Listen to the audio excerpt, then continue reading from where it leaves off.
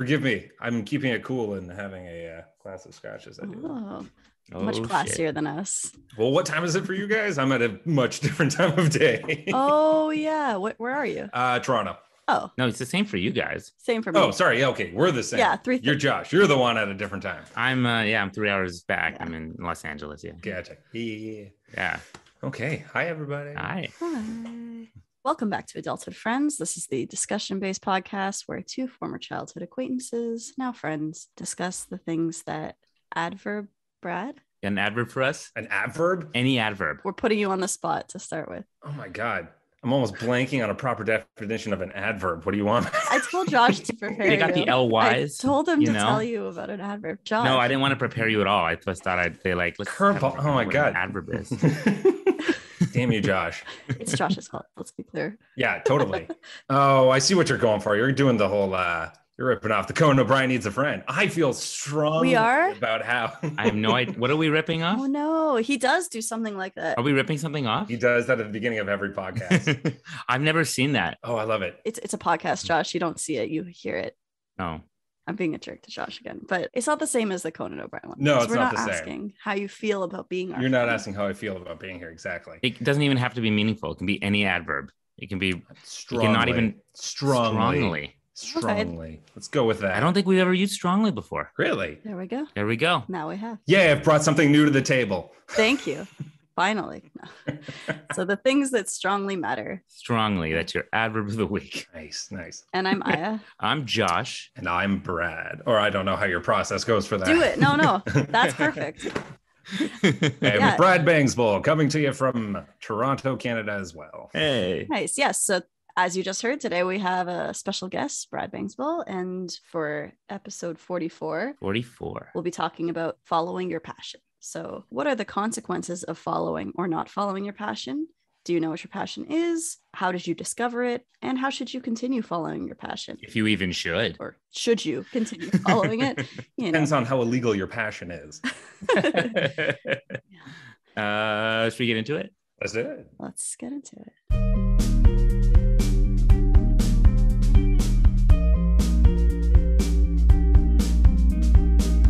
And we're back. Oh, it's so good to be back. Thank you for having me. It's nice to see you, Brad. I think I haven't seen you since high school, actually.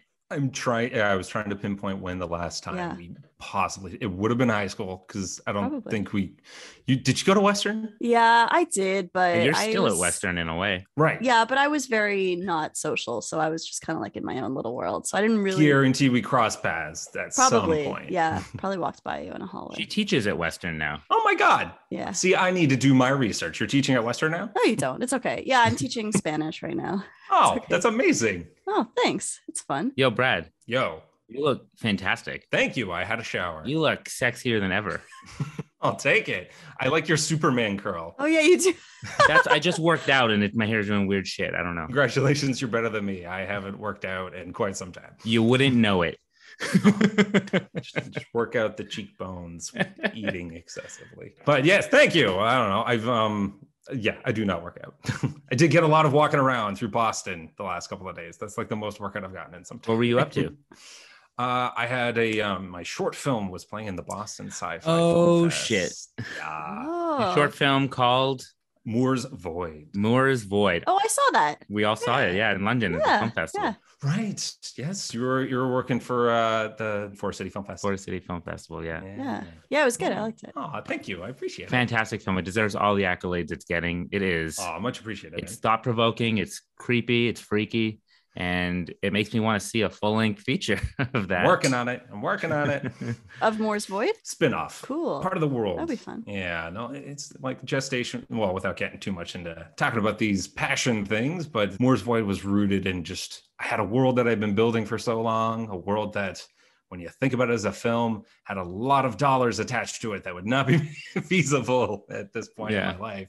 So I found what nugget of it I could that I could do a short film with, and then hmm.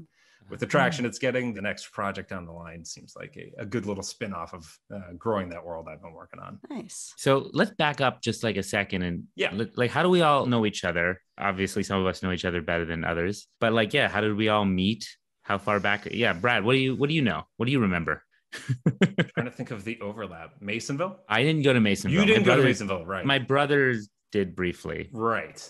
I was trying to remember. So that would have been high school. It's high school. High school. AB Lucas. Yeah, and you were technically a year ahead of me. Yes. Yes. Yeah, you're ahead of us. We really. When did we really? We started hanging out somewhere upstairs. It was grade eleven. it would have been grade eleven drama class when they had the split. Oh. That was the year we had the split where we had like the. we definitely we did drama. We did drama. It was one hundred percent drama class. With Mr. Winch. Or for some reason I missed it for a year and then went back. That's what it was. I went back and I that's why we ended up in the same class even though we were different years. You did a victory lap, right? Yes, I did. Was it a was it a victory? I mean, I it got me to where I am. Step So it is a victory. it took some time, but it It was correctly labeled. it was very helpful. and I uh, you also did drama as we mentioned before, but you only did like first Yeah. year, right? With Miss I just did the first one, yeah. But we were in that class together. yeah, we were. I did Bohemian Rhapsody. I don't know what you did. Nice. Yeah, I also don't remember what I did and or don't want to share. Oh, But lip yeah. Was it Spice think I- Girls or something? What did you do? I wish it was Spice Girls. No, the other girl picked it and it was um doesn't matter. And Brad, I know it was something embarrassing, I'm sure. I think I knew you first as Amanda's boyfriend. Yep. Is that weird? Okay. that was your name for the longest time, just Amanda's boyfriend. I just remember, oh, that's Amanda's Amanda's, boyfriend. boyfriend. Yeah, and then yeah. I knew, yeah. the last guest that we had on was Amanda. This is kind of cool. That's uh what a world. Yeah. Yeah. What a What a- coincidence. You guys are still friends, right? We uh we are we like I mean uh, we we haven't been in each other's circles for so long so it's really just a case of maybe once or twice a year we'll reach out over Facebook or something and just be like how's life how you doing That's nice. this is gonna sound kind of weird, but like, you know, you guys were one of like probably the earliest like couples that I knew when I was younger.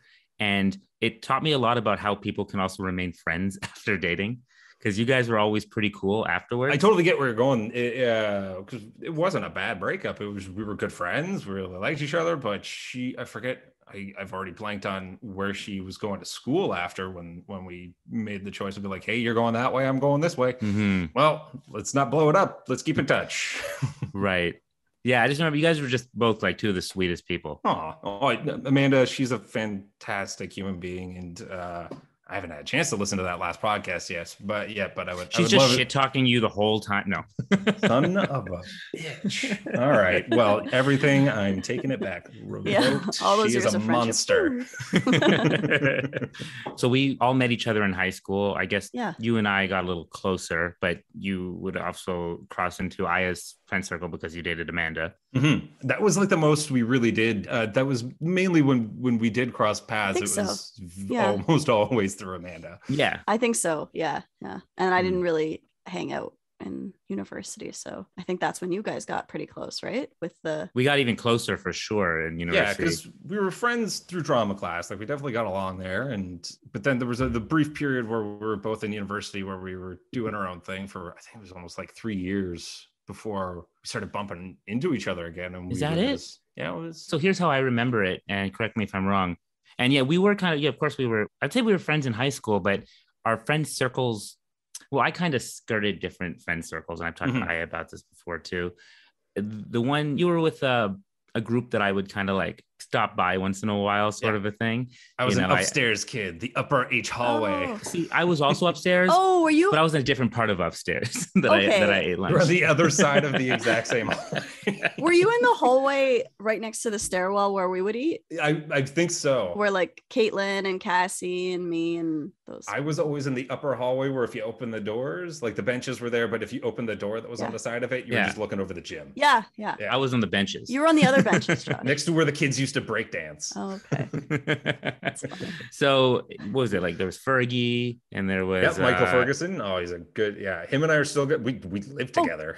Garrett Sermansky, was he there? Uh, he was there for uh, on and off for a little bit. He wasn't a regular, Okay. but he did kind of pop in and out of there. And was Matt was Matt in our high school? Am I crazy? Matt Belford wasn't. Belford? Yep, yep. Of course, yeah. What am I crazy? Yeah. So you and Matt are still really close too, right? Yeah, that's another like on and off thing because him and I knew each other since kindergarten, and we're still like he's still my best friend. So you and Matt are like how Aya and I have known each other since kindergarten. In those same circles where you're just around each other. Except that Aya and I only really uh it's the whole purpose of this podcast. We didn't really become friend friends until we were like adults.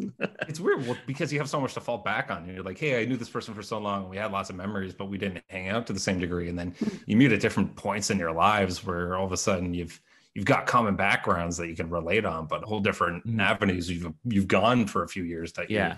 you're reconvening and sharing with one another. and you're like you're an example to me of someone who's done a really good job at like staying in touch with and staying friends with i mean friends from your elementary and high school Say I'm terrible at it, but I, I don't know how I don't know how Matt and I are still friends. i don't know you guys are both wonderful people and makes sense to me we mainly just hang out and talk Lord of the Rings. It's been like that for 15 years. well this actually leads me into so in undergrad when you and i started to hang out and do more stuff together and one of the reasons is because i think our passions kind of intersected 100%. but you had kind of still another like a friend group in undergrad and i had a friend group i mean i had friend groups that were not like related as much to my passion in many ways like i had very academic oriented friends but you had uh, even people like matt and was it nick workman Yes. you guys Yeah. started a radio show and a group called nerd alert right Yes, correct. On the subject of talking about our passions, and I guess Nerd Alert was the big stepping stone for me. Because, uh, as we said, we met in high school, and uh, drama class is what we shared together. And I'd say that was a good crucible for like what would turn into what our passions and our current careers are, because it was an avenue to approach the things that we love, which was uh, storytelling. I grew up loving movies, televisions. One of the first things I remember ever watching was 89's Batman. Like my parents always joked that Batman was my first word.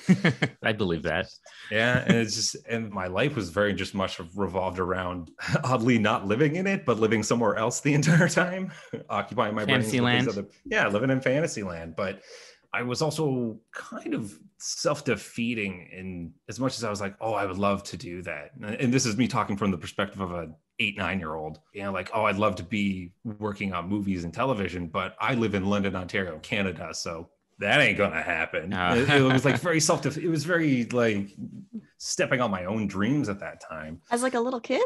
Yeah, as a little kid, I didn't think that that would be a reasonable. I didn't think it was a realistic thing. I was just like, oh, What a practical child. Yeah. oh, it was like I would love to do these things. being from London, Ontario does that to people. You don't really see. I wonder if it's a little. This might be a terrible analogy, and forgive me if it is. But you know how there's people out there that don't see themselves like represented on screen. yeah, There's a lot of groups that say we don't have representation on screen, so you don't. It's hard to see how you could potentially make it, Hmm. right? That's why they say it's good to have representation. In a similar sense, like London, Ontario, you don't see Oh people God. from our hometown represented out there, so you think, oh, why is Until that going to happen to me? now all of a sudden we've got like Ryan Gosling and, Yeah. and, uh, Rachel McAdams, like, Justin the people were Bieber. there. Oh my god, yeah, okay. See, foot pulling the giant foot out of my mouth now. but like as a kid, the I idolized Jim Carrey because he was loud, wacky, and goofy, and I knew he was from j- just nearby. And you know, you learn about all these other guys. You're like, oh, that guy who made Aliens and Terminator is Canadian. Oh, cool. And James Cameron. yeah, no, it's it steadily grows as you learn this stuff. But I mean, at that time, as I got into high school and in drama, as fun as it was to start getting into theater and playing with this stuff, when I first went to university, you know, you're faced with that question of what are you going to do with your life? Yeah, what did you study? Uh, You know, at Western. My first year, I just took a general because I, I I don't know how many. I, I'm sure lots of people felt this way, but when I first went into it, I don't know why I didn't put the thing I was passionate about at the top of my ambition. Years later, and dealing with it, probably fear and just not thinking it was realistic or it would happen, or if I gave it a shot, it would probably just. Wait, what what was the thing you were passionate about when you went into university? Like specifically, how would you define that? Because I wonder, I feel like you probably knew like before I did. Like at least you had an inkling of that earlier. I always knew like drama, acting, stuff like that, but I didn't really realize filmmaking was my passion till I was an undergrad. Fair, fair, and and again, it's that kind of metaphorical gun put your head of like you need to make a choice now because you're about to spend a lot of money on it. I knew I wanted to like in that same way you say, oh, I wish I could be an astronaut. I'd be like, I would have loved to have been a director. I would have loved to have been a storyteller. But I had done nothing at that point in my life to be like exercise those muscles. It was that weird sense of false confidence that sometimes I think everybody has where you're like, I feel like I'd be good at that. Have you ever done it? No, but I feel like I'd be good at it. And until you actually do it, you are you don't have confidence in that thing you have false confidence about. Did you ever get to direct any plays in high school? Or I know we we got people got to do that in our class, or was it just mostly acting Oh, and I think a lot of it was uh, w- or writing? Right mr wintercorn who i'm sure you've mentioned on this podcast before he was a big pusher for me in that class where Mhm. I think he could tell that I loved doing stuff. I got excited when I got into it. Like I liked acting. I liked putting on impressions and characters and stuff like that. But I did love writing. And I, I'd say today my biggest strength is writing. Mhm. But I didn't do it very often. I would do short stories. And the only thing that helped me have any sense of feeling like I knew what I was talking about when I tried to do it was just how obsessively I would watch something I like over and over again. I would watch it studiously Yeah. and I would just unintentionally kind of mirror the things that I liked when I tried to do it. Did you take that creative writing class in high school? Because Aya, Aya and I took one. Was it an official create? No, I don't think I did because I'm an idiot. But I was probably for the best. Because I, What? I t- well, honestly, I took one, and I, I mean, to jump a bit on what you're saying, Brad, like the first year of university, I also took a general, and I never took another creative writing class after the one that we took in high school because I hated it so much. And it was kind of like, again, I always knew I wanted to be a writer. I hated that one class, and I was like, you know what? Creative writing's not for me. So I eventually went the literature route. Dreams boot. Really? That made you not want to do it? that made me not want to it didn't make me not want to write it made me not want to take a writing course so i went like the literature route and i was like you know what i'll study things that other people have written that are good just like you're saying with rewatching the same movies i was like isn't there just as much to learn about writing by reading what good writers have written 100%. than there is by forcing yourself to write when maybe you're not ready yet maybe you don't have all the experiences you need to start writing That's 100%. it. yeah Mm. yeah i kind of relate to not feeling ready even though like knowing this is that thing that i want to do but like also feeling like i'm not ready to do it yet like i'm not ready to write yet even though i know i want to i don't know Can you think of what it was about that class that did put the boot on it for you? Where you're like, no. i think it was i just hated the teacher i don't know why You really did, huh? I thought she was so nice. i know i hated her she liked some people Oh, you said she liked the guys in the class. That's what you said. i think she just she was a weird lady um which is fine i like weird people but she was the kind of weird that I didn't like. And I just, I don't remember what it was about her. And her feedback I found like really unhelpful. And I was like, she would give me a, a de- al- also like I was very mark driven. So I, I think I was just like, you don't already like what I wrote. And she'd be like, well, it's kind of, it's missing something. I'm like, well, what's it missing? Give me some better feedback. And I just, it was probably pettier than that at that age. Uh, What was I, 17, 18? I, I was probably just like, she didn't love my work and therefore she sucks. I mean, if you don't love Aya's work, you do suck. It's just how it is. no, I, I don't love that work either. It was, I don't think it was anything too drastic other than just I was like, she doesn't understand me, and there's no point in like continuing to try writing when I'm maybe I'm not ready for it or something. So, That's the hard Yeah. truth when it comes to a form that's subjective. Yeah, it is very subjective. To take exactly the point, because it is super relevant to tie into where Mm. the original question you were asking, Josh, of what led up to Nerd Alert. So, when I went to university and took the general, I come from a big military family. So, I took my degree in history because I've just always been surrounded by Hmm. That's it. cool. And I think part of the attractiveness to that was it was narrative. It was still a narrative. It was just the narrative of us and of context for the world that I'm surrounded in and Mhm. what makes people tick. Are you a bit of a black sheep in your family and that you went, you know, towards the arts? Yes. Can relate to you on that. Aren't we all? yeah. Yeah. Aren't Yeah, we all? definitely. No, well, we I guess we should thank our parents for giving us the opportunity to be able to do that in this day. 100. Yeah. Yeah. Granted, I'll, I'll put it, my parents reluctant. never. However reluctant they might be to let us or want us to. Mhm. But I was, my parents never put that pressure on me. I, That's good. growing up watching the family I was surrounded in, and I think it's a self-imposed pressure of I'll put it in the sense that the the military family that I did have or that I have did big things, big Greg, and Hmm. so there was a sense of if you're going to do something, it's got to have meaning, go it's got to be big. big, it's got to have purpose, and so that itself just Pressure. was pressure. It was daunting. Yeah.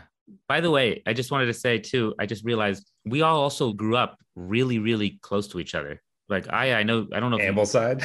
Yeah. like, yeah, off, Yeah. we're all off Ambleside, right? Off Yeah, Ambleside. yeah.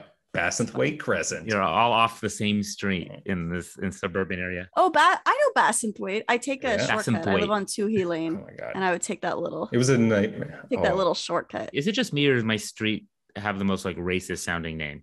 Whitehaven. Whitehaven. Oh my god. Yeah, I never even thought of that. I grew up on Jesus, Josh. Whitehaven. Oh, Very strict who was allowed to live on that. Is there a Blackhaven nearby?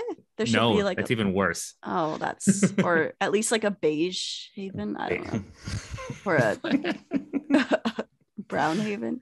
Eh, eh, Something else. Something I would rather have lived on the interestingly titled Bassenthwaite. You are really white too, Josh. Did they check? Did They only let me live on that street because of how I looked. did they do like a visual test? They didn't know I was Jewish. Because you are extremely wet. They didn't know. White. Did you have to wear sunscreen at night? Did you say I'm to- extremely wet?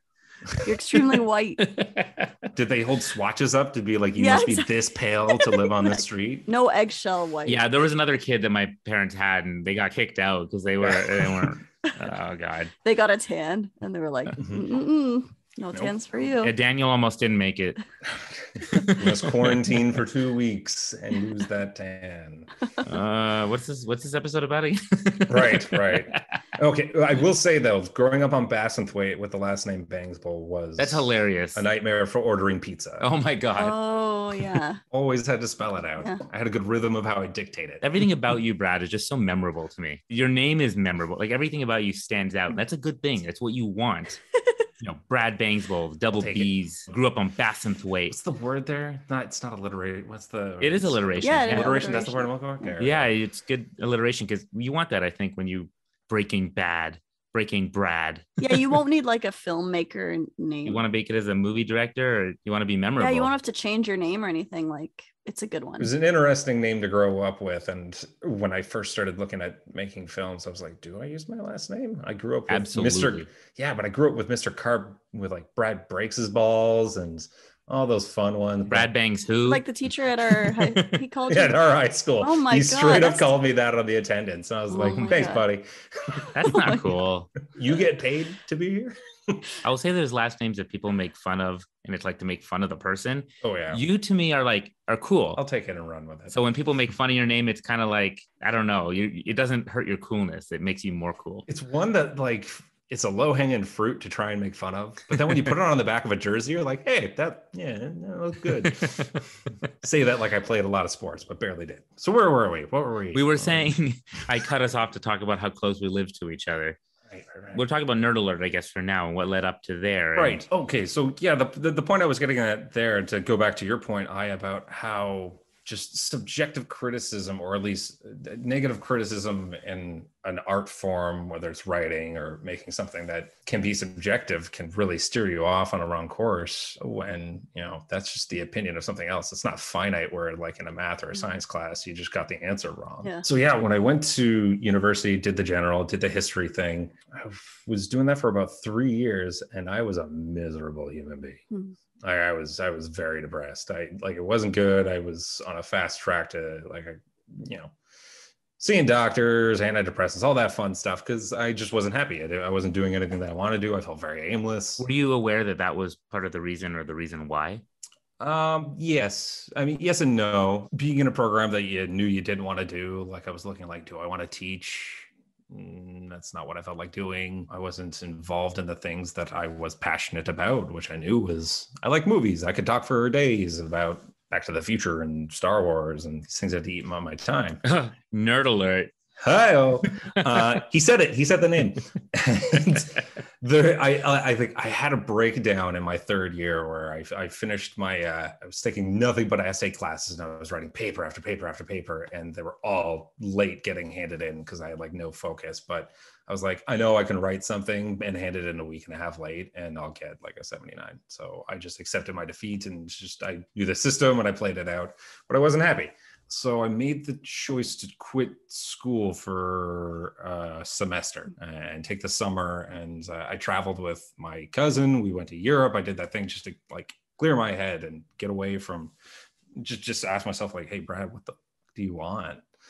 And that was a big change for me. I came back, and in the summer, I was talking with Nick Workman, and he was a good friend of mine. We were taking history together. It was from undergrad that you met him, right? Because that's when I met him. Yeah, I met Yeah, him yeah, yeah. through you. I don't. I shot a movie at his house. That's where he lived. yeah. We shot balls deep at his place. right. I remember. I remember that. You were in that, right? I'm trying to. I'm You were in the party portion Oh yeah, I'm in the party. I'm at the party. I do remember that. Just to let for people listening, it's not a porn. It's a, it's a Spoil it.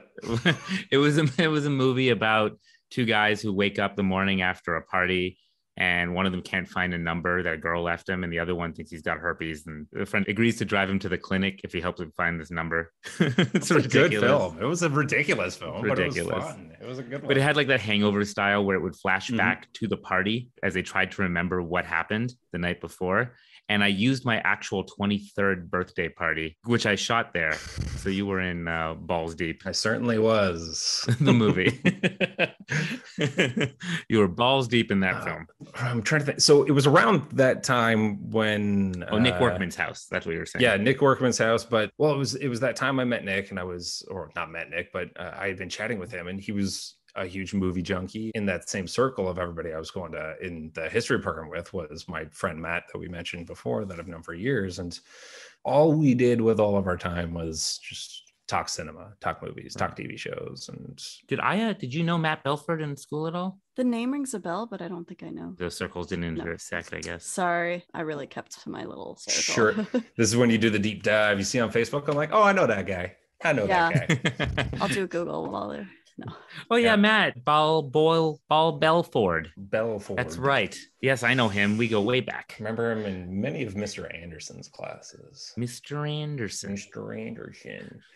but yeah, so it was at that point just kind of chatting with Nick. I think we were talking about The Watchmen. The Watchmen was just being adapted into being a movie at the time. Mm. And we'd spent an hour just going on all the details of the history of the struggles that movie had gone through when Darren Aronofsky was trying to get it made. And he had like an early screen test that he had done with, I could be totally wrong on this because it's been forever, but I remember, um, what's his name from Game of Thrones and uh, game of thrones aya uh, uh, the guy that was uh, guarding Daenerys for like four seasons. oh yeah Oh, Um, uh, Jorah. Jorah, yeah, he was, I believe, I could be totally wrong on this, but at the time, I remember he was originally doing screen tests to play Rorschach oh for a Darren Aronofsky version of Watchmen. And anyway, so Nick and I had spent hours just talking about this stuff, and we were like, God damn, we need microphones in front of us. We would love to do a podcast. did you call it podcast back then i don't think so we wouldn't right? have even called it podcast. Well, actually, yeah, no, podcast was the thing back Was then. it? Were yeah, it was budding. you guys were calling it like a radio show right or Be, so I would say within 24 hours of me having that conversation with Nick, I was hanging out with my brother, who was previously the president of the student council at Western. And he had done numerous spots with CHRW and the radio station there at, at Western. It had come up in conversation that, like, oh, Nick and I had been kind of shooting the shit over this stuff. And we were just like, oh my God, we we just think it would be amazing if we had like a podcast or a radio show. And he he just he said one second he pulled out his phone and pulled up a phone number and it was for the producer at radio western. He said a quick hello to him and then handed the phone to me and he's like tell him what you just told me. And so i just said hey i would i was just telling my brother i'd love to do a show on a structure. We review a movie every week and then we just talk about the general status of nerd culture at the time. And this was circa 2010 so this was right after like i think the first thor and captain america were just about to come out and they had just announced that they were making the hobbit movies. And you know the dark knight had just come out two years before It's that. Like so just like nerd nerd culture time. was Yeah. just peak cult- nerd culture. It was it was cultivating at the time. And uh, the producer at the time i'm trying to remember their name because they changed over like a couple of months after i was there. But he was just like can you come in on monday and we'll uh, record a demo? And i was like oh god it's real it's real. So i called up nick and i called up matt and i was like hey guys there's actually you know you know you know that thing we were like just laughing about doing? Do you want to actually go do it? And that was just a launching point for like an avenue for our passions to actually do something. And that that evolved into the next three years of my life that completely changed and d- determined where i am and what i do now. Isn't that amazing how you can like look back to this moment in those conversations and that point and those decisions uh-huh. and be like, wow, this was like a almost a direct line. I could I could probably find the timestamp in a Facebook chat with, with with Nick of when this moment happened. But yeah, from that point, that turned into a platform at Western where on a weekly basis we were going out and seeing movies, and so that for me that helped me like on a studious level consciously watching movies not for film class and i'm watching you know east german cinema trying to critique something that was made in the 40s but i'm actually like going out and watching the big stuff that's coming out to Mm. you know silver city or any cineplex or something like that in london and You basically did an unofficial film studies, like critical studies class, you know? 100% and it, but it was on stuff with films you liked. Yeah. yeah exactly. And then outside of that we were trying to find like other things to talk about. So we were just talking comic books video games. I'm not as much of a big gamer but matt and nick were. And through doing this it, it did well at the radio station. They really liked us. They kept us going for a while. But through that it made other people at western take notice of it. We had local comic shops. We had heroes comics at western or, or in london reaching out to us for publicity. And that was kind of how you and i josh started hanging out again. So this was called Nerd Alert, right? Can you can Yeah. you describe what was Nerd Alert? Just how would you have described that at the time? I can do it by trying to just remember how the opening of the show went. Yeah. oh, Yeah, give Do it us an for us, opening yeah. of Nerd let's see if I can dig it, uh, shake the dust off of it. Hello, you're listening to Nerd Alert on 94.9 CHR. See, I already flubbed Oh, you that. got a good radio voice. We're Yeah. your weekly radio show covering everything nerdy from movies to comic books and technology.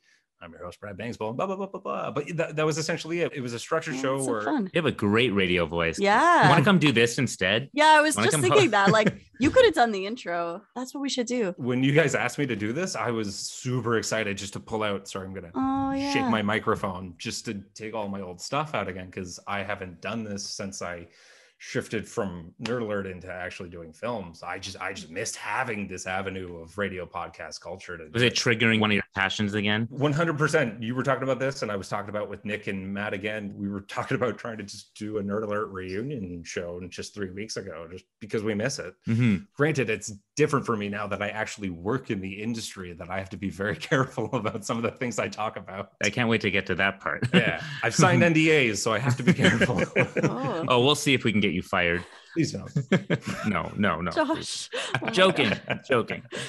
it's okay i'll probably do it myself Ooh.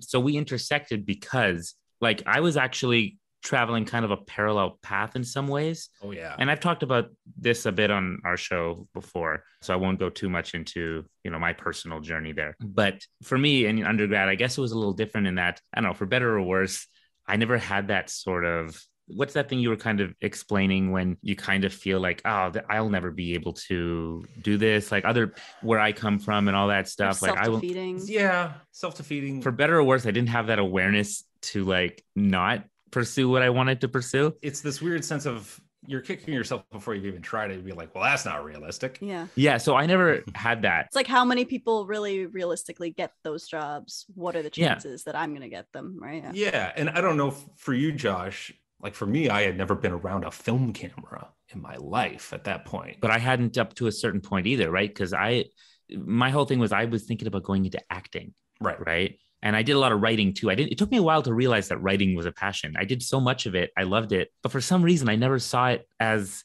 It took me a second to go. Oh my god, this is so part of it. Yeah. like this is so part of it. Sometimes the most exciting part. Yeah, yeah. It's all to me. It's all storytelling. I love storytelling. But it took me a while to realize that, you know, especially as I had my academic pursuit of psychology and neuroscience. so crazy. but then you your passion sometimes i think there's you finding your passion and then there's your passion finding you Uh, right and it feels like an undergrad my passion kind of found me and maybe the same thing sort of happened with you a little bit Yeah. Yeah. yes i was academically pursuing one thing but then you know you see a little thing to sign up for acting in a small play you audition for that you realize oh now they've got you could sign up to be a director or a writer of one of these plays oh let's try doing that Mhm. and i did purple shorts if you remember purple shorts Yes, I do. I do remember that. Yeah. No, I remember you mainly. I remember you talking about it a lot. I don't think I got a chance to see it, but You were self promoting even then. Josh. I had to promote it at the time. We had people paid to come like watch it. It was called Purple Shorts because they were short plays, and purple was Western's Western. colors, purple and white. Yeah. And I started out by acting in one of those, but then I ended up directing three throughout my time at Western. That's incredible. And I ended up co-directing Oscar Wilde's The Importance of Being Earnest with Patrick Barfoot. Patrick Barfoot. Patrick Barfoot. He's definitely a, a link here for us. Definitely. So Patrick, he's the one who kind of got me into the movie side of things because he asked me to come work on something called We Eat Films that he was starting, which was a movie review show. Mhm. And he wanted me to just act in it. He wanted me to be one of the reviewers, which I did. I think the first thing I reviewed for that was Zombieland. Nice. Yeah. so our timelines were very much in sync. Yeah, they were lining up. So I was doing that. But that show quickly turned into something else. I I don't know about quickly, but by the second season, it wasn't just a movie review show. It was a show about a group of people making a movie review show, Yep. kind of community esque style. It was so meta. Meta was like Meta. such a key word at that time, and anything Yeah. creative and, and community was a major part of that. yeah. Like, that style of storytelling was becoming really big, and it was, it Yeah. was very attractive. And that was certainly what you guys were pursuing, and I, I very much respected and appreciated. Well, it. it was fun because we ended up just making a TV show with, you know, we'd have to write an episode and we had a writer's room. that's so crazy. Without even realizing it, we were doing what professionals do in many ways. And it taught me Mm. so, so much. And I ended up writing and directing and producing. And because I stuck around, I became one of the four kind of producers of that show. It was me, Patrick, Rebecca French, Mhm. and Sean Lott. Sean Lott. Sean Lott. guy? Yeah. Anyways, while we were doing that, you were doing Nerd Alert. Mhm. But it became pretty clear to us at some point that we're doing some similar shit. and I'm trying to remember how you and I first, because you and I first, at some point, we bumped into each other at the atrium. We were talking about what we were doing, and we had that kind of like no shit moment when we Yeah. talked about what we were doing. Or like, Yeah. I'm kind of doing something like that we're doing too. some similar stuff. And I eventually came on Nerd Alert. I remember that. We started cross pollinating because I know We Films was looking for promotion because we were working on the Western radio station. We just had the means of, we started running for ads for you guys on the regular. And, and then you literally made, I remember we filmed an ad for We Eat Films, the website. Yep. With and you acted in it. And the whole joke of it, if I recall, was it was We Eat Films, which I always thought was a funny, funky title because it sounded like Yep. weed weed films if you didn't say Mhm. it right. But We Eat Films. So it was about a bunch of zombies eating films. that was one of the very first things I ever directed. Oh, and you directed it. That's Yeah, right. I directed. I think it was for, for it was both Patrick and I, but that was one of the first things I remember. I, I did up the storyboards for it. It was actually Nick. Nick, you can find it online if you. Yeah, I remember Nick know what the a hell zombie. Nick looks like. he Nick's a zombie in there. no, he wasn't a zombie. He was the guy Wasn't? running. Oh, he was He guy was- running from this. he Didn't he become running. a zombie at the end? So it ended with he's being chased by zombies. They're running him up the stairs. He gets to a door and then tries to escape it. The door's locked, but he sees there's a zombie on the other side, and the zombie just pushes on the door handle and it opens. And so all of a sudden he's just surrounded. And as they start eating him, and like, th- and this was all Oh, is they're eating him? this His was in season one of Walking Dead. Came instead out. of intestines coming out, it was like It was tape reels rolls. of tape. It was just no, it was reels of tape. That was the whole idea. It's we film, so they were just pulling out spools of VHS tapes and stuff like that. And then at one point they pulled out a copy of Bambi, and then somebody started eating Bambi. I remember. No, not Bambi. No, no, not Bambi. Through enough. No. I can remember that now so clearly. Uh, I didn't realize you directed. it. I'm sorry, I forgot. Yeah, you directed it. that was between both Patrick and I because we were both kind of like walking through it. But I drew up a whole bunch of storyboards and I took out like a digital camera and I picked all the shots and I put in the frames and we handed that over and we just did shot for shot, essentially that. Wow. Okay, so you did this commercial for We Eat Films, and then you also, I think you probably acted on here and there in an episode in a small role. I don't know if I ever actually made it into Didn't an you- episode. Not No. even the finale one where you came in. Weren't you just there at one point? I don't think so. I can't remember. Like w- the things that we did, you and I did the the We Eat Film special. Oh. We drink films. I watched that. I just watched that. Yeah. Yeah, it was the first and final episode of We Drink Films. Please, which is Brad, unfortunate describe because it was incredible. It was. It turned I, out I, so I've well. been told it's one of the funniest things we've ever done. I found it entertaining, and I don't like drunk people, but I found that pretty entertaining. I was like, "Oh, this is yeah." I I mean, Josh, you're like very much classic drunk person. Like you've got the speech slurring. You're like kind of falling asleep on Brad at one point. You're, oh, this guy. Oh, this guy. Like Perfect. it was pretty entertaining. Some point, I lose my pants. You Yeah, do. You do lose your pants. so what this was was we because this show that we did, we eat films. Like I said, it was a show about a group of people making a film review show, but it would have actual film reviews in each episode. But then we started making reviews just outside of the episode, just general film reviews, and you could just watch reviews and not the episodes. And then we thought, hey, let's do we drink films where we review a film, but we do it drunk. or we do it while getting drunk and then we're drunk. I don't know. It was very experimental for us, but we ended up playing shot checkers. You were playing checkers, yeah. So the idea was because I remember this was one of the few times I'd only gotten into it. There was a point after when our Nerd Alert and We Eat Film World was colliding, and I think there was maybe like four times I sat in on like a We Eat Films writing meeting, or it wasn't even like writing, but it was just like, what do we do next? What are some projects and stuff we want to do? And Yeah. that was when We Drink Films came up, and I know there was a number of people in the room that were trepidatious, like, oh, I don't know if I want to be drunk on camera and all that sort of stuff. And I was just like, "Pff, I was like, I'll do it. I'll it. do it. I'll do it. And now it's there forever. and, uh, and I still share that thing. No shame. much- it- it's Yeah. great. Funny. I thought it turned out so It- funny. It's pretty entertaining. Yeah. I remember the editing being kind of tough, and that was why we probably didn't do other ones. Just it took a long time to edit. I'm certain it was needed. Yeah, because we we basically edited a whole game of us playing shot checkers, and basically whenever one of our pieces were taken, we had to drink the piece because the piece was made out of shot glasses, And there was a point where you were kicking my ass. and then I lost at the end. Yeah, that was that was exciting because it looked like Josh was definitely gonna win. And then it cuts but the alcohol started to kick you're in, and, And then, then I I made- started making bad And then- and then you made a terrible move, and Brad's like, "That's the worst move you possibly could And have like, made." and then I ended yeah, up getting even exciting. more drunk because I had to drink the rest of them. But the thing was, So- the entire time we were playing that, I still had like a martini on the side. Yeah, you were just kind of like you were really still chill the whole time. I went from at the beginning being pretty like with it to the end not being with it. I don't know. We were all over each other. Oh, it was, It was weird. No, it was it was really funny. But uh, so like the idea of the shot checkers, I remember that came about was we were We reviewed The Shawshank Redemption. We Yes. probably should point that out.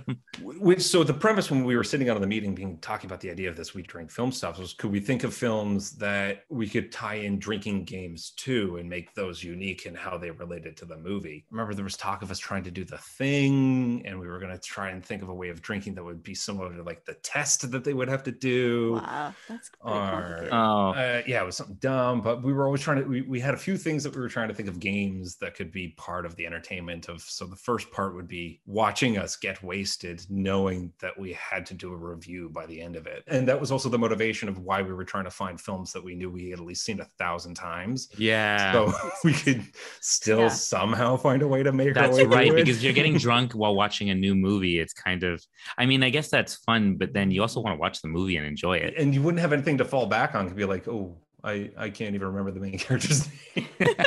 I mean, it could have been funny in and of itself, Mhm, I guess. Certainly, But then you would maybe ruin the experience of watching a movie you would have been liked to watch. So should have done the Hangover. now we can just review movies we made Yeah. ourselves. Oh my god. we'll review uh Yeah. hot, what's what's your not only that by the way we'll probably get to this we both made wing movies We did. i made a movie called death by hot wings and you made one called Wingman. wingman It was a period film shot in 2012 that was Mitchell set during Brow. 2009. Yeah, Mitch Brow. Yeah. So we'll get to that in a sec but yeah we drink films was great and i definitely recommend we do something like this again because it was we've always talked about it we're like we should totally It has come up many times. Yeah. yeah And that actually brings us to our next point. This is actually going to be the first and last episode of We Drink Adulthood Friends. Uh, aren't you drinking right now yeah, Brad's Brad? doing it for the three of us. look at that Ugh. You need a refill there? I just like, hey, this is a celebration. I haven't done a podcast in a while. I'm Aw. gonna pour a glass of scotch, get cozy. Yeah, I noticed you have proper. Yeah, you've got like proper equipment. Yeah, you know? I Yeah. yeah, it's. I it's didn't not mean a- the glass. I meant I meant your microphone. You've got Oh, like, yeah. proper podcast equipment. So This is from the Nerd Alert days. everything but proper internet everything but proper internet. Sorry about your editing, Josh. No, Yes. no, it's okay right now. Oh, we're jinxing it though. So we crossed paths. You obviously got involved with We Eat Films. I came on to talk about what did I come into Nerd Alert to talk about? Certainly, we were talking about weed Mm. films. Like the the initial part of it was promotion for that. And then some movie review, probably. One hundred percent. We would have closed out with like picking a movie that would have been out at the time that we reviewed, but right. for the life of me, I cannot remember. And I remember being there was with you, Matt Belford, and Nick Workman. Yep. Right. And it was all of us sitting around. And I remember thinking, this is so cool. Brad, you have a legit radio show. It was in like a yeah, Ah, exactly what you imagine like an office for a radio show would look like and all the Full equipment. Full soundboard, the mixing And board. I was like, I just got to be a part of this dream. I thought that was so cool. It was the only time I think I've done that. That was awesome. it was a unique experience. Yeah. But the thing, and uh, thank you in saying that, I, I can only say that I felt the same way when I was kind of getting when you were inviting me into your circle with We Eat Films because You mean when we made things in like a classroom? yes. well, well, so that was it. Like, uh, like I said, there was the the question of what my passion was. Was I wanted to make films, or I just I wanted to do something with films, and Mhm. I was still had that foot in that realm of like being a filmmaker is not realistic. I don't think it's realistic. I don't know. I've never touched a camera. I've never done any of that, so it seems too daunting. Don't do it. But hey, I'm in this realm where it's something I'm passionate about. I can talk about it all the time. And then when we started hanging out again, and I started seeing what you were doing with We Eat Films, I was like, what, what, what are you shooting this with? And you're like, oh, this is my Canon 7D. And he showed it to me, and I was just like, you, you don't, you don't use film? Like this, oh, that's so that's such good quality. Oh my god! You just how much did that cost? Okay, and immediately I go and I buy my own DSLR, and and it's like you can use interchangeable lenses. So wait a minute, I, I I would just load this on my computer. I don't need to know a damn thing about processing film, and I can load a program where I can just edit this all by myself. Did I ever? T- I told you where I learned about. You know, I ended up producing the TV show. One of the deals was I let them use my camera equipment, Hmm. but I ended up getting that camera equipment and learning about it from. Do you know who? Did I ever tell you this? No, Grant Vesna. Grant Vesna. Oh my god, I haven't thought about him in so long. Yeah, Grant Vesna, who we also knew from high school, and he's an orthodontist now, Hmm. a professor of orthodontics at the moment. Hey, good for and him. yeah no he's doing great but he, my early films like he was the cinematographer and he taught me about Oh, he, I he do was remember that. Sorry. yeah Didn't- he was an avid like photography person and he loved learning about cameras and he taught me about cameras of all people actually he acted in one season one episode of we eat films he was the first episode i ever directed i i directed grant i'm sure if he comes on the show we'll talk about that Oh, now you have to. yeah. Anyway, he taught me. I remember I was looking for a camera. I wanted to start shooting my own movies. I wanted to shoot because my first movie was Death by Hot Wings, Mm. but a guy who eats suicide wings and dies. It's a great movie. Find it. YouTube. If his friends are all like, he's dead. And they're like, well, what did he have? And they're like, suicide wings. And they're like, well, what did he expect? Yeah, it's a very Josh. It was all like one joke just Josh. drawn out. It was a ridiculous first. I liked it as a first movie. It was definitely a good first movie. I didn't want to be overly serious. Sounds very clever. It's good. Mhm. Unlike me. No, I liked your first movie, and well, I want to get into that. Well, you were a substantial part of that. That's not the part I liked, but okay. So when I was looking for a camera to get, I remember looking up like these were like prosumer cameras I was looking into, and there was very little information about digital cameras because the truth was it was still pretty new. Mhm. You know, using digital cameras, especially digital cameras for consumers like Yeah. us, like people who were You're putting it on super filthy rich. 10 gig SD cards and you're Yeah. maxing out at 1080p. Yeah, so I didn't have a lot to go on and learn, and I made some mistakes along the way and not realizing what else was out there. And the first camera I got was a Sony NXCAM. Mm. I remember Grant going through a list of these different cameras I could get. He's like, "This one's a hundred dollars. This is a few hundred dollars. This one's like a thousand. And I was like, "What about that one?" He's like, "That's six thousand dollars, Josh." And I was like, I'm getting that one. He's like, You're insane. I'm like, Yeah, but if I get this camera, then I'm gonna make movies because I'm Yeah, investing fair. in that. So I got the six thousand dollar camera and we shot Death by Hot Wings with it, and it turned out fine. But I was like, you know what? By that point, I learned about DSLRs. I was like, Grant, I need to get another camera. and he was like, You're insane, Josh. And I got a two or three thousand dollar Canon 7D, you know, lenses and whatever. It's a gorgeous camera and it's still good. That thing still works. People, Oh, that thing still- still... looks great. And I ended up shooting my next movie, Elevator, with both those cameras. But then ultimately, I ended up shooting movies with the DSLR, and we used the NXCAM for run and gun kind of we eat films type Mhm. episode stuff. Right? It wasn't as good in low light. Anyway, I digress. That was my learning experience, you know, with my dentist cinematographer That's such a great story. yeah that's and so like you're going wow you did i mean i was trial by fire with that stuff and so was my group of uh, we eat films comrades That's what was amazing about it. It was just like, hey, shit, you're actually doing it. And again, like I, I was coming from a perspective of like, we live in London, Ontario. Like, well, we're not gonna. How how the hell are we gonna get out of here if that's what we're trying to do? So seeing you actually doing it was just like, oh my god. Okay, show me, show me. i'm amazed any of that stuff like the stuff turned out like it did actually i'm very proud of those times i like to say you know warts and all i love it because for what we knew and what we had at the time it, i'd say i'd say it was a success in fact we had a series finale of our show That's incredible. But the thing I wanted to ask you about was so this is quite the story, but you ended up making a Nerd Alert movie. Was this the first thing you shot or no? Nerd Alert movie was the second thing. Okay, so was Genovese the first? Yes, Genovese was the first movie. Okay, Aya, did you get a chance to see Genovese before or no? No. She was like, I watched that We Drink films thing and fuck it, I'm not watching anything. Yeah, I yeah. watched something. Also, because I, I've seen enough. you never know. Like, I never know what my opinion might be, and I'm always worried about. Like, I'm sure it's great, but I don't generally like short films. So if it's not, I would have said something It's really not. mean, and I probably would have told you whatever the truth would have been, good or bad. That's fair. So- Completely fair. So I didn't want to watch it, no. and also I didn't have that much time because Josh told me four o'clock. Hey, we're doing this in a couple of hours. so, but I'm sure it's great. I I liked the Void, Moore's Void. I appreciate that. Thank you. So I'm sure this one was good too. I mean, watching Genovese and then watching Moore's Void and seeing, first of all, I think Genovese, you did a great job. Our first movie, Thank you. it was better than most first movies.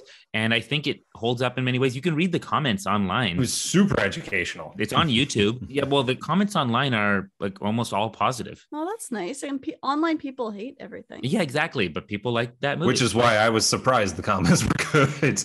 I, oh, it's probably good. You're just very like you're very modest. That's that's good. it's look, it's, It's- easy to look back and see the little, you know, first time movie flaws or whatever. But Mhm. you pull something off there and I, you can describe it in a second. But I worked with you on that, right? Because I was the Mhm. cinematographer and I used my camera, if I recall. Mhm. And then you were the main editor on it with me. Oh, yeah, I edited with you. And then I also acted in it. Yes, you were an actor in it as well. This is one of the craziest roles I ever. Josh is an abusive boyfriend. So was your ex girlfriend. yes. Oh. Yeah. I was abusing your ex girlfriend. Yeah, it was weird. Wasn't ex at the time that we were filming it. yeah. She's like, she want to be an actress and just, all right, hey, let's try this. And then after that, Whitney, right? Yes, she's actually in the finale of We Eat Films, I think. Yes, she is. Yeah. Yeah. So onto the topic of what we've been going over, following your passions. I, I, it's interesting that Genovese was literally a film about being a bystander and not doing something you feel you should be doing.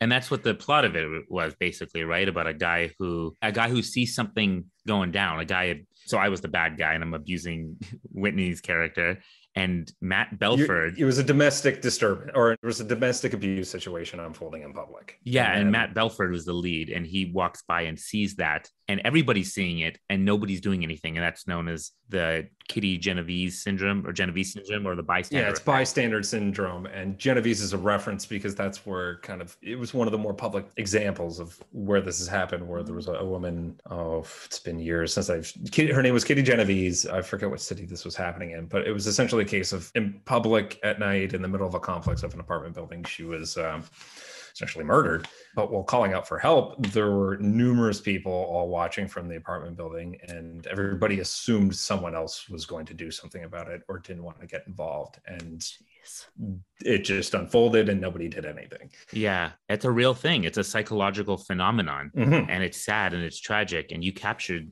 well you captured that but yours was the story about the guy who chose to do something and why. Well, it was supposed to be two parallel worlds because I was approaching from it, and I think this was learning about filmmaking at the time because I think the original version I shot it was completely from Matt, the main character, the perspective of the bystander, so I could try and analyze and understand like why wouldn't somebody be doing something. And again, this was one of the first scripts I had written since like drama class, and Mhm. I remember the early cuts of us going through it. It was just that horrible example of show don't tell, and there was just so much telling in the narration. there was narration right There was There was, like- narration in the original cut. ah we went back a year later right and we shot it was almost a year. We sat on it for uh, quite a while. We were just like, something's not right. And we were trying to think of how we could fix it. And at that point in time, like I'd been kind of going through that evolution myself of what do I want to do with my life? And I felt like I was caught in a moment of not doing something I felt like I wanted to do. And so I started trying to put the parallel of being a bystander with your own life, paralleling this situation. Oh, that's cool. And so we filmed this new scene where it was from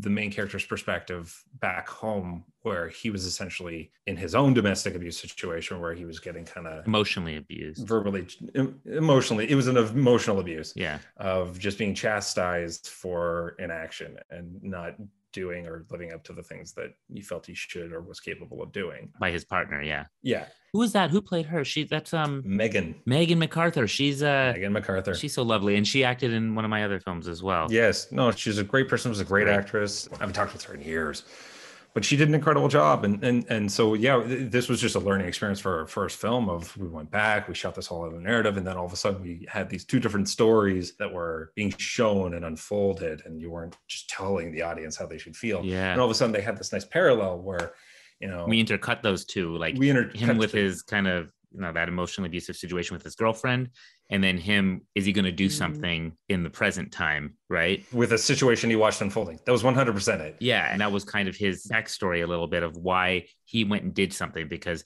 he was chastised for never taking action. So now he's going to take action. Exactly. That was the premise. That was the plot. Like, are you going to do something or not? Yeah. yeah so that was the first working with you josh that was the first film i had ever shot it was you know when you go through that like i obviously had things that i really really loved about it and things were like oh i wish i could do this differently and you know things where you like Dude, he got into like a few festivals. oh it did, yeah no it did Good, great. like- it did uwo festival but it's, you know like Ivy. yeah, it did Ivy. I remember that. And so from that, you know, all of a sudden I was like, okay, cool. What next can I do? And I find it odd that like I did such a heavy drama film first, and then the film that I have going through the festivals right now is also like a heavy film because everything in the middle I've done is just such stupid comedy. it's just it's because I love comedy. I love playing with that Yeah, everything I've done good. is just such playful Yeah. comedy. And but it's weird that these two things that have been like the bigger projects I've done have been these. I mean, uh, I think those exist within you, those two sides, you know, those. definitely. I love dark humor. I love dark twisted humor, but I like things that just that still make you think. And then if I can also make you laugh at the same time, then I'm then Yeah. I'm, I'm golden. I'm happy. And I think you and I both have that in common with a lot of our projects. I think so. I think we have a lot in common there. Yeah. You definitely like a lot. You're big on philosophy. Yeah, yeah, I guess so. You know, this film we worked on later, we can talk about there. But your next one was Nerd Alert, the movie, was your next project, we should say. It was fun because like Nerd Alert was doing well. We were having so much fun, and well, we were rocking and rolling with it. I was like, wouldn't it be fun if we just did a radio play? Like I, I can write a script, and oh yeah, if we did a radio play, we can make fun of that whole Orson Welles story from War of the Worlds, where like somebody, you know, a bunch of people committed suicide because they thought it was real. I was like, oh yeah, so what if we just did thing it's about us and the radio station? We decided for an episode, we did the War of the Worlds, but we're just reading like the plot and we're referring to Tim Robbins and Tom Cruise the entire time, and then and then all of a sudden we're on the run because somebody calls in and says that their husband thought it was real and Mm. but we did it we shot the whole thing and You made it as a movie, not as a radio play. we made it as a movie like well we ended up it- like it kept growing and growing as we were writing that like hey this is actually kind of funny why don't we just try fucking shooting it. And everybody was in that, like almost like everybody we had a whole we had substantial portion of the We Eat Film staff yourself included. Sean and I played cops, like bumbling cops. incredible cops. The wigs that you guys had? We had these crazy wigs that we were wearing. borderline austin powers. Gareth Bush was in it as well. he was a homeless guy that turned into a zombie.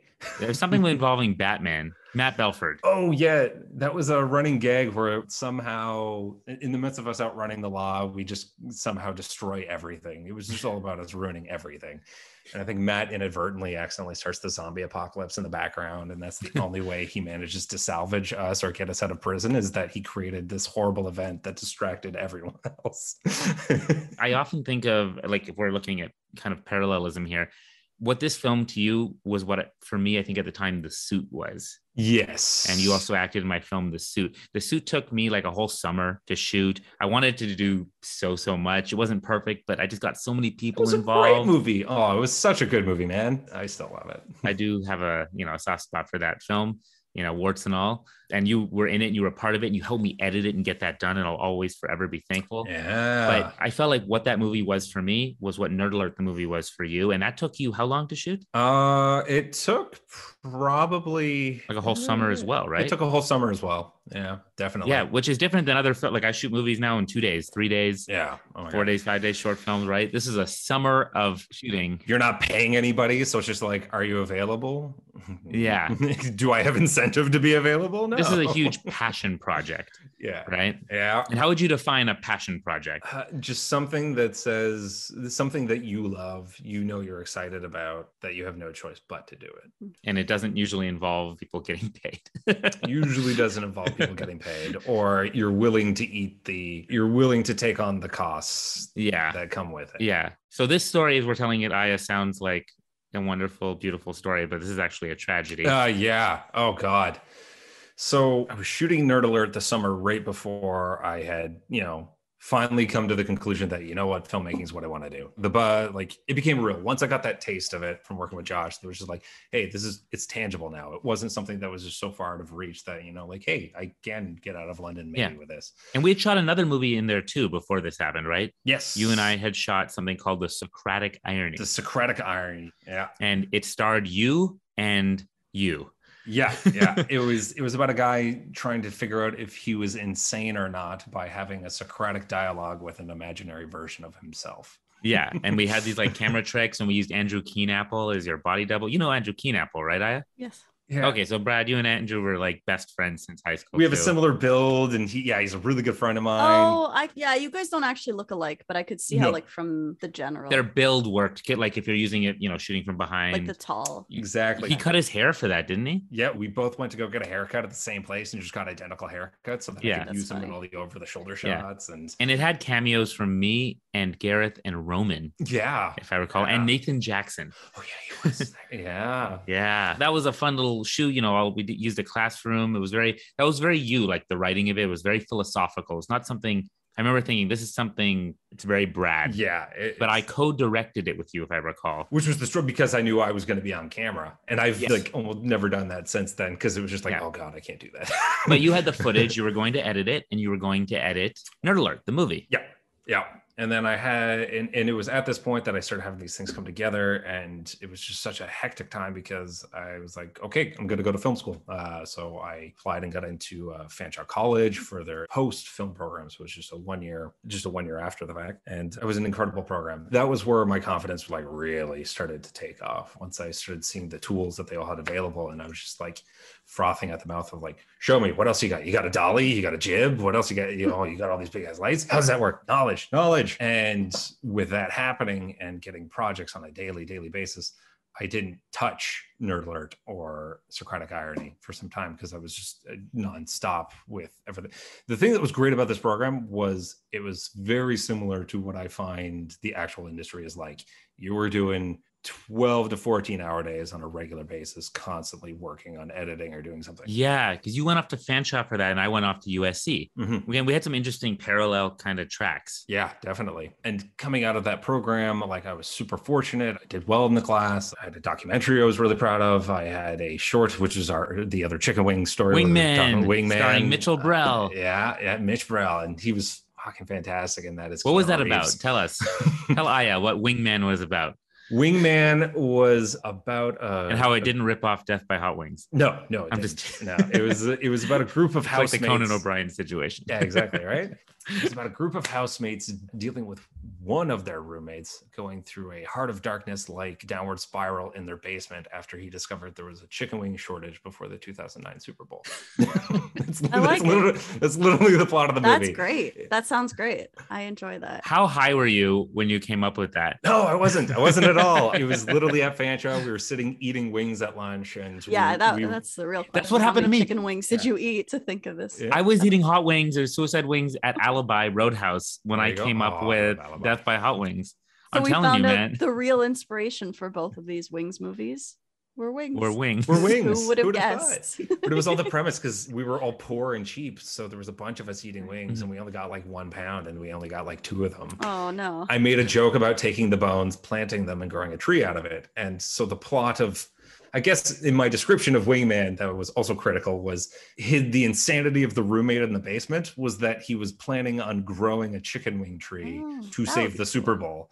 oh yeah.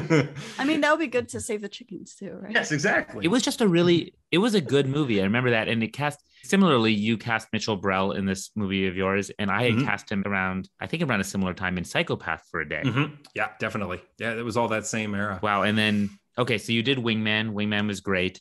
But you came back to and similarly by the way i was coming back to the suit because it was just i remember i had this when i shot that film over a summer and everything it was technically the third movie i'd ever shot or that i ever directed i had done genovese in there before that and stuff with you but i had never Mm-hmm. it was the third movie i directed Right. and that movie was chaos like it was disorganized all this stuff like you were helping me edit and put stuff together It but was it took big. me it was a it was big. big, movie. it was like a 26 minute movie in the end and Yeah. it took me years it took me years to finish it. People there was like a joke like josh when is the suit coming out?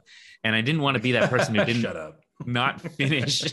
It didn't you know i very much believe in finishing what you start and that one was so difficult to finish.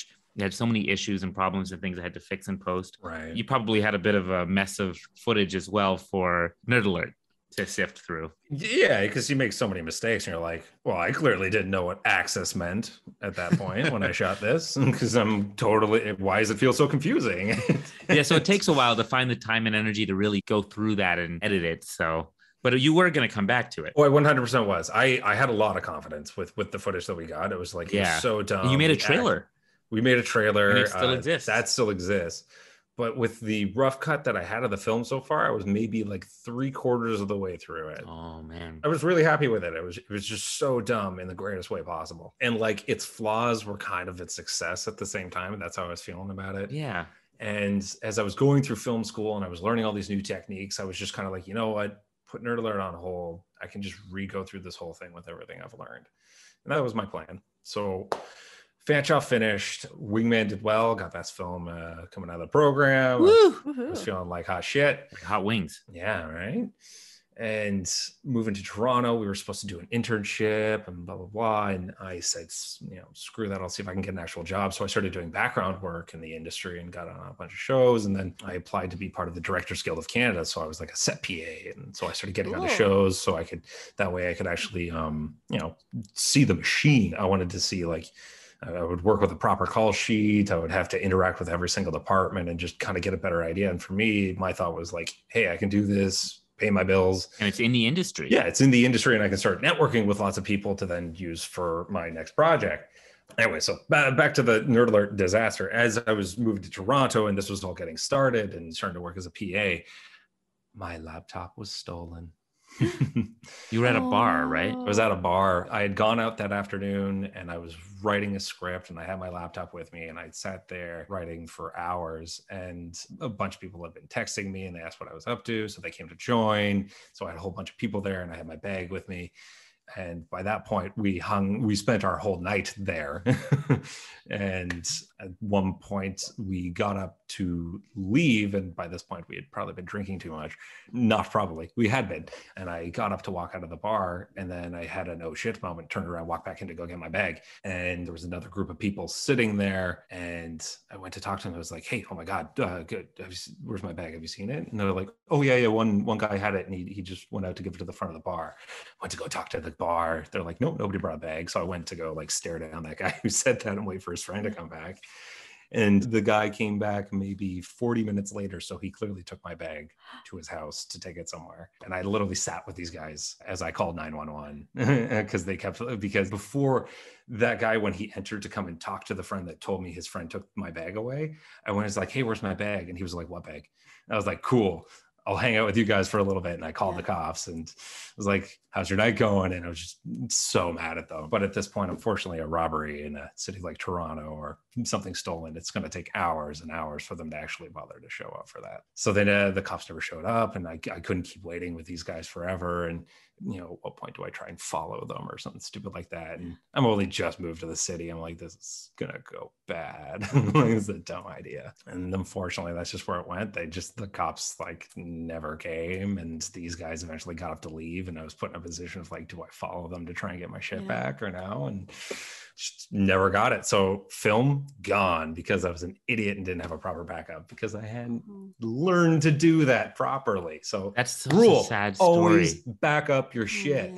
That sucks. That means all the months and years actually you put into that just Oh. it was all on that laptop and that laptop was stolen. It's just Yep. I, that hurts. It hurt me so much to hear that, and that wasn't the only movie you had on there. no. Josh, what are you like bringing up old like wounds? Like, oh, that's not the only thing you lost, right? Tell Well, what else no. lost. No, no, no. he- There's a reason I'm bringing this up. Oh, okay. yeah, I you were too soon. Socratic irony was so so on there. So the Socratic irony that we shot was also on that But laptop. Josh, but you had a backup. After you told me what happened, I wanted. I felt really bad, so I decided I was gonna like quietly edit it myself. I was also too heartbroken to touch it. Like I was Yeah. just like, and I was just like, I don't know, I couldn't do it. And then as you started editing it, I was like, thank God, I probably can't stare at myself because I was acting. And it was like, I don't. Is even- that what happened? Because I I remembered it a little differently. I remember thinking that I was going to. My goal was to like surprise you with a cut of it. You did. You didn't tell me it. uh, Oh, I didn't tell that you? were, you didn't tell me that you were editing it at first. You were just Okay, like, yeah, you got to do it. You got to do it. And I was just like, I can't, man. I just, Okay, so I surprised. Yeah. Right. So I at least told you I had footage of it yeah. at the time. Okay, so I did that. I thought I. I guess I forgot that I told you that, but then I surprise edited it. Yeah. You ended up editing it. You showed it to me. I was like, holy shit.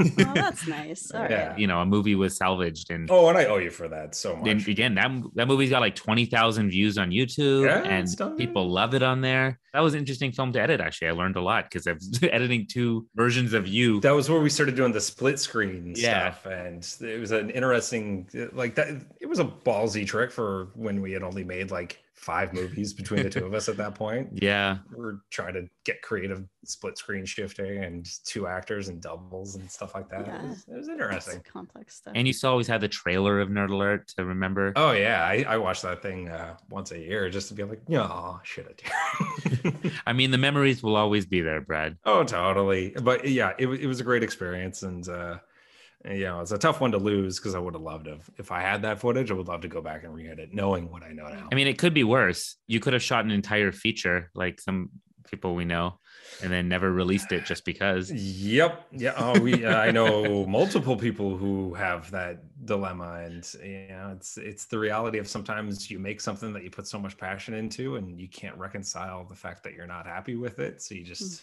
let it rot. Yeah, or it's just so disorganized that you can't figure out how to. How to Finish finish, it. it. Yeah. Yeah. Yeah. There's so many factors behind it. yeah. Yeah. Yeah, so we've uh, been talking for quite a bit, and as often happens with a guest, actually, it happens not with a guest as well.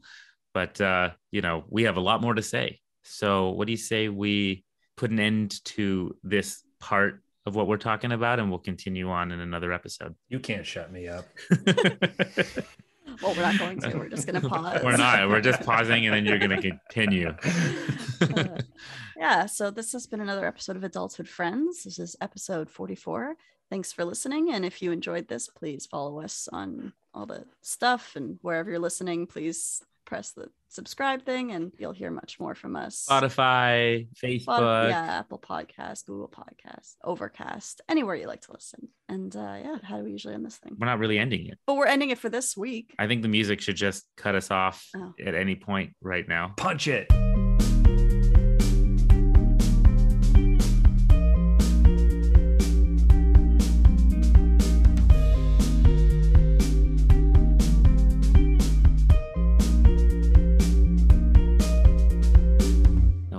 Bathroom. Let's talk shit about her. Who the fuck is Aya? I who the who the fuck is she? Who she think she is? No, I honestly don't know. Remember your ex girlfriend Amanda? Who's a man? No. This has been fun, man. I appreciate it. yeah, but what about that Aya chick? Who? Uh, it's A Y A. She was just keep pretending like you remember her from high school. the thing where it's just a blank stare. I'm like, I'm actually looking at your forehead or your nose because I don't want you to see that I can't I, recognize. she's like, I'm pretending that I saw Moore's Void. So Because you're such assholes. No, I so I left my headphones on so I could still hear you even though I was like doing stuff, which What? Obviously you knew, which is why you did all your what are you talking about, Aya? That's crazy. Okay. We were just joking. It's okay. Okay. Oh man. I appreciate being part of the conversation. That was nice.